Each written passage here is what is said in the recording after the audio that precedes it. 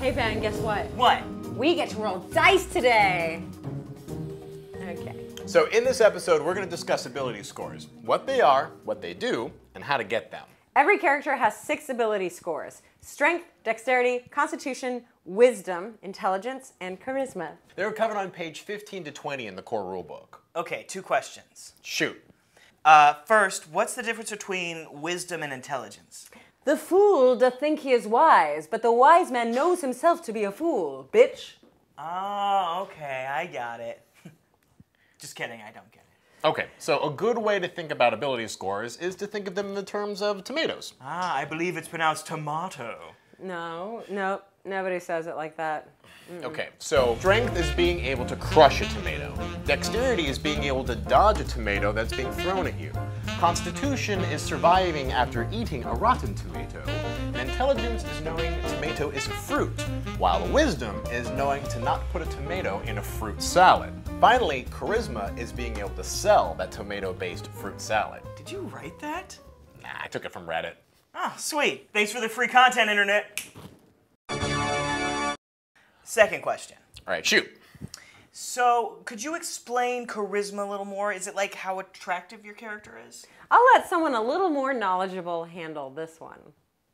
You have got charisma. What is that? It's a special quality of leadership that captures the popular imagination and inspires allegiance and devotion. Got it? Time to munch on some grap. And it. Any other questions? Yep, do we roll dice now? Sure do. Dice are used as one of the methods to generate ability scores. There are a total of five official methods in the core rulebook, and each can be used to create characters of differing ability levels. The various methods are described on page 15. Your GM will tell you what method he or she prefers. So base ability scores range from 3 to 18, with 3 of course being the lowest. Scores are increased or decreased after the racial modifiers are factored in, but they cannot be lowered below 1. Any more questions? Yes. Am I supposed to ask you which stat generation method you prefer? So to keep things simple, we're going to use the classic method, where you roll 4 d6s and drop the lowest score. You'll do this six times and then assign the scores to whatever ability you want. Okay, here goes. Uh,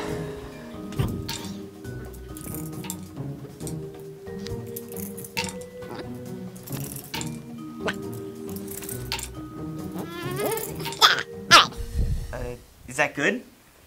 Well, the average ability score is usually rough out to 10, and you got a 13.5. So yeah, you did good. You're a fighter, so the most important abilities for you are strength, constitution, and dexterity. The three less important abilities are intelligence, wisdom, and charisma. We're going to assign the scores you rolled to each of the six abilities. Which is the most important? Probably strength, followed by constitution. You see, strength allows you to hit harder, while constitution allows you to have more hit points, making you harder to kill. Oh, I guess I'll put the two 17s there then. Right. I want Garthok to be an indestructible mound of hair and muscle. Great, okay. That would make Garthok more like a tank, which is a character that takes the punishment while the more fragile creatures dole out the damage. Garthok will stand selflessly in the breach, a bulwark against the forces of evil. Good. Now we have to deal with your 10 and your 6, which we should probably place in wisdom, intelligence, or charisma. So, how about it? Do you want Garthok to be hideously ugly, hideously stupid, or make hideously bad life choices? Well, it seems to me that Garthok is the kind of dwarf who makes the wrong choices repeatedly and as hard as possible. Okay, great. So we'll stick the 6 into wisdom then, and then we'll put the 10 into the charisma. Charisma. The 15 and the 16 will go into dexterity and intelligence. And dexterity is helpful for warriors since it does make dodging attacks easier. But intelligence is good for skills, which are what you use when you're not fighting. But we'll cover skills in the next episode. Just know for now that they're pretty important. okay, uh, I'm guessing Garthok is going to be more combat oriented, so I say we put the 16 in dexterity and the 15 in intelligence. All right, done and done. You're sounding like a real player now, using words like oriented and everything. Nice. Now, as we mentioned, every race has racial modifiers to their ability scores. And dwarves get a plus two to constitution and wisdom, but they get a minus two to their charisma. So let's adjust these base scores a little bit. That's it? Mm, Pretty much. We just need to enter the ability score modifiers into your character sheet. Right, and those modifiers are located on page 17 of the rule book. So Hang on, I'll take this. Oh, look at Mr. Fancy Table Reader over here. Right. So his strength is a 17, which is a plus 3.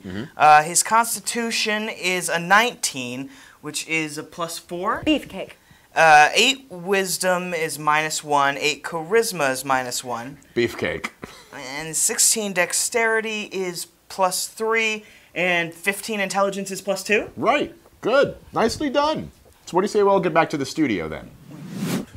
So this is a good lesson because so much of the mechanics of Pathfinder is based on your ability to read tables and locate modifiers, either on your character sheet or in the core rulebook. The more info you have on your character sheet, the better. It makes playing a lot more fun when you can just look down at your sheet and do quick calculations on the fly, rather than flip through a 500 page rulebook.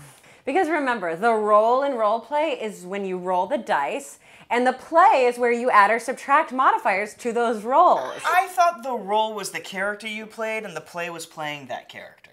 And yeah, yeah, agree to disagree. Fair enough. So Garthok has ability scores. Are we ready to smash stuff yet? Soon, very soon. But before we go smashing, we need to find a way to use those ability scores. And that's where skills come in.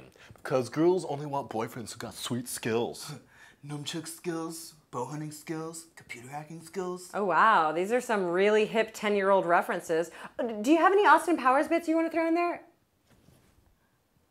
Hang on, wait. You made a son-in-law reference, and that movie is at least 20 damn years old. Yeah. Yeah, well, Nice one. Awesome. Cool. Great. well, that's it, guys. Remember, if you liked what you saw in this video, like, comment, and subscribe. If you didn't like what you saw, leave us a bunch of insulting comments. Try to make us cry. It'll be so fun. Yeah. Either way, be sure to join us next time when we discuss skills. Until then, we are Saving Throw, and... Let's dungeon!